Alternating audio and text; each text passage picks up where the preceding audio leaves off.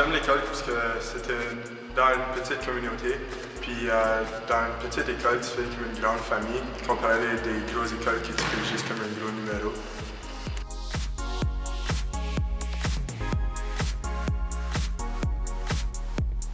J'aime les activités qu'on fait. C'est toujours comme une aventure avec nos classes. Like, um, tous les enseignants sont comme des parents et des oncles, mettons.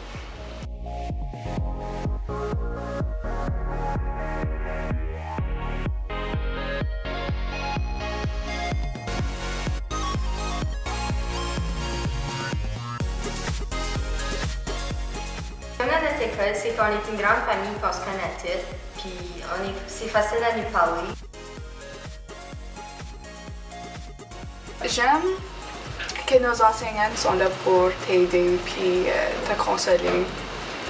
Puis euh, c'est juste une école qui juge pas le monde.